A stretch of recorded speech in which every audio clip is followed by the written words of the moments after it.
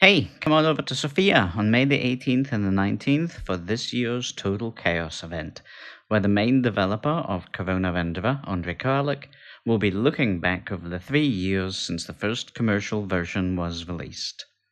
The presentation will review our original vision for Corona, where we succeeded in meeting that and where we did not, and what we have yet to try. We'll see you there.